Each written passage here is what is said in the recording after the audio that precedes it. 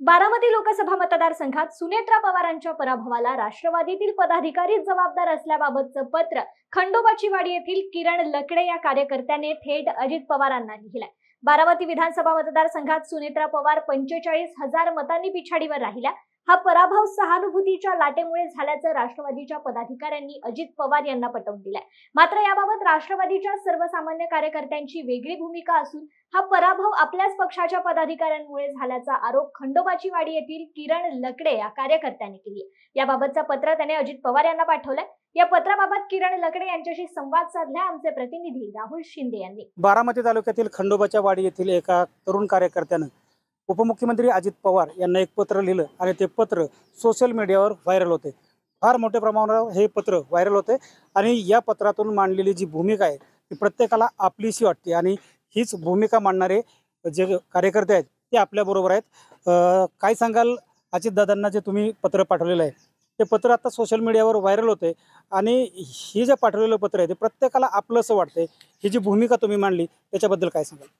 एक आता बारामती तालुक्यात म्हणजे अजितदादांनी आपल्या युतीच्या मार्फत सुनेत्रा यांना लोकसभेची उमेदवारी दिली. पण त्या उमेदवारीत एक लाख अठ्ठावन्न हजाराने आपल्या सुनेत्रा वहिनींचा पराभव झाला. पण ह्यात बारामती तालुक्यातून सुनेत्रा वहिनी अठ्ठेचाळीस हजारांनी पिछाडीवर राहिल्या. आणि ह्या पिछाडीचं विरो पदाधिकाऱ्यांनी अजितदादांना असं कारण दिलं की ही निवडणूक आपल्या तालुक्यात भावनिकतेवर झाली. आणि त्यामुळे हे विरोधात मतदान गेलं. पण हे तसं पटवून स- दिलं पदाधिकाऱ्यांनी पण दादांनी ह्यामध्ये न लक्ष घालता ते आम्ही पूर्ण तालुक्यात प्रत्येक गावागावात आम्ही सर्वे केला. की ही मताधिक्य कशामुळे कमी पडले? तर आम्हाला प्रत्येक गावातून सर्वसामान्य कार्यकर्त्यांचं असं आलं की ही मताधिक्य मताधिक्य ही फक्त ह्या पदाधिकाऱ्यांमुळं हे पडले. कारण त्यांच्या अंतर्गत वाद त्यांच्या प्रत्येक गावागावातले गटबाजी ह्यामुळे त्यांचं मताधिक्य कमी झालं. हे प्रत्येक सर्वसामान्य कार्यकर्त्यांनी आम्हाला सांगितलं. आणि मग आम्ही विचार केला की हे आपण दादांना सांगायचे.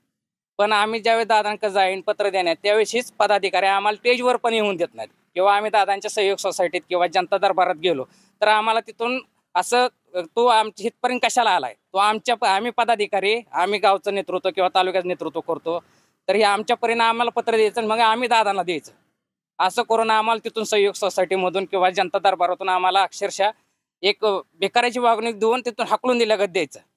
किंवा दादा टेजवर असताना तिथं आम्हाला टेजवर येऊन द्यायचं नाही.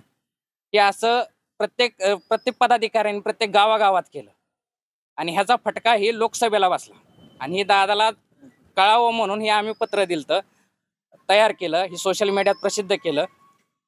पण ह्या पदाधिकाऱ्यांची चुका म्हणजे प्रत्येक कुठल्याही गावचा पदाधिकारी पदाधिकारी घ्या तो गावात आल्यानंतर गाडीची काचही खाली घेत नाही किंवा प्रत्येक सुखदुःखात सामील होत नाही.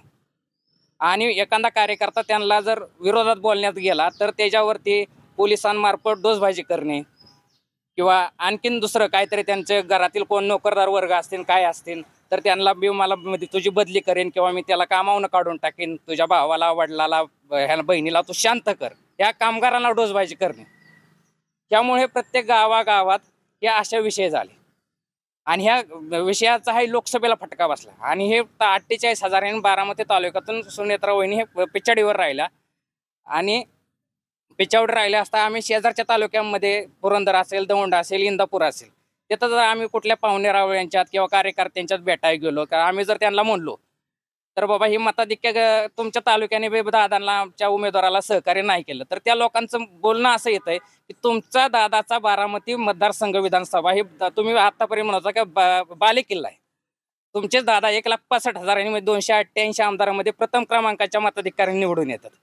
पण आज तिथं दादांचा बालेकिल्ला असताना तुम्ही अठ्ठेचाळीस हजारांनी का मागं राहिला? ह्याचं तुम्ही ते कारण शोधा.